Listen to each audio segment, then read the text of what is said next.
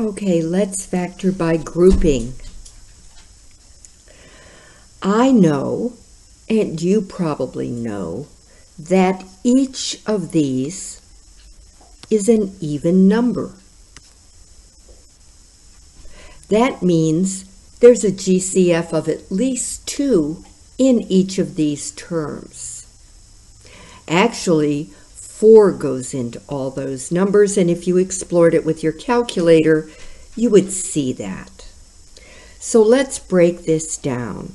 12 is 4 times 3, and y squared is y times y, plus 40 is 4 times 10, 40y is 4 times 10 times y, and 32, here we have minus 32, but 32 is 4 times 8.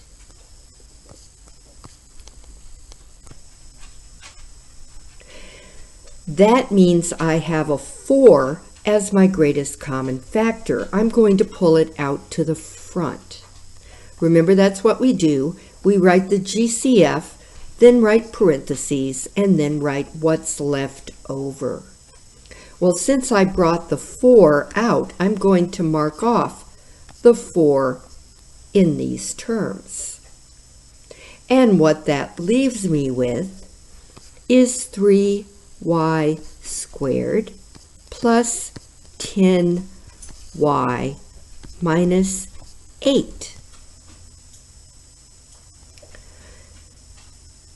All right, now, now I can find an ABC for what's in the parentheses. A is 3, B is 10, and C is negative 8. To factor by grouping, I multiply A times C.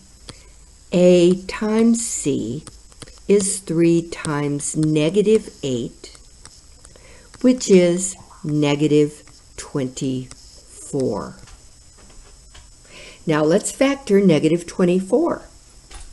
1 times negative 24, 2 times negative 12, uh, 3 times negative 8 and 4 times negative 6.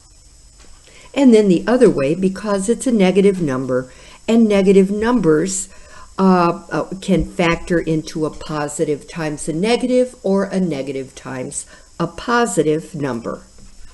So negative 1 times positive 24, negative 2 times positive 12, negative 3 times positive 8 and negative 4 times positive 6. Now we need to find the pair that will add up to the B number, positive 10. Well, that is going to be negative 2 times 12 because negative 2 plus 12 equals positive 10. So let's do that now. Remember there's a 4 in front. I'm going to put brackets on the outside here. I'm going to say 3y squared minus 2y plus 12y minus 8 and then close my brackets. And then inside the brackets, I will group the first two terms and the second two terms, and I'll be sure to leave this plus in the middle. It doesn't belong in either set of parentheses, it belongs in the middle. Now I'll factor each set of parentheses by the GCF, and I will do this inside the brackets.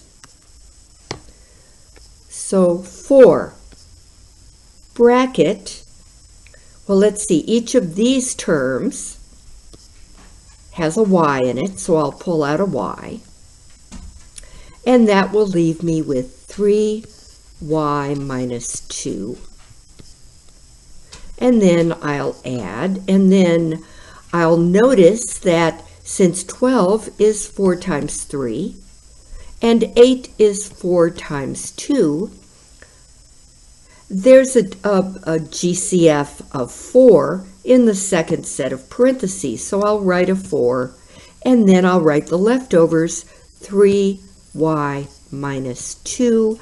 I'll close the parentheses and then I'll close the brackets.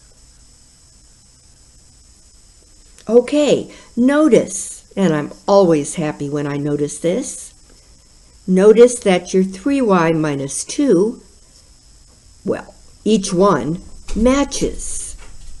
It becomes the GCF of the polynomial inside the brackets. So I am going to write the answer 4 times 3y minus 2 times y plus 4.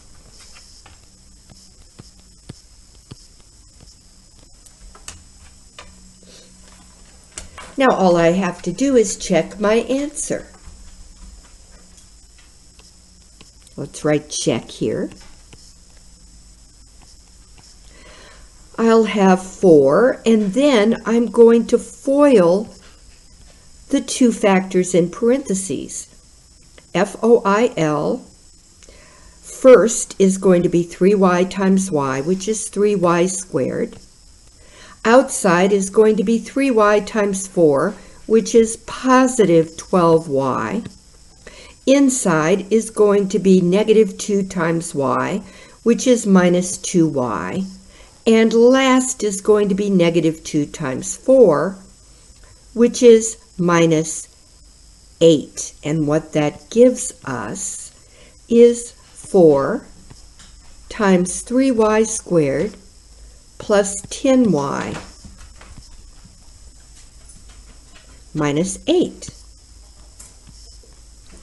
Now I'll distribute the 4 into the quadratic trinomial in parentheses, and I'll have 12y squared plus 40y minus 32, which is exactly what I started with.